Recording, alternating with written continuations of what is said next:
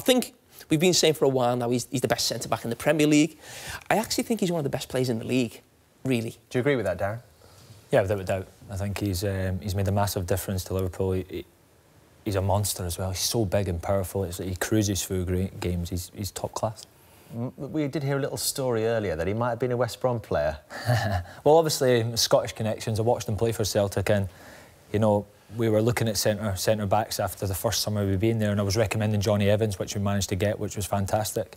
And I also said go and get Van Dijk. I think it was before he went to Southampton for 10, 11 million, and obviously West Brom felt it was maybe a little bit too much. They were they were umming and ahhing about six million for Jonny Evans, so you could maybe see the dilemma. There wasn't much money, but I don't think you'd call them typical Tony Pulis centre half, so Jonny Evans and Van Dijk.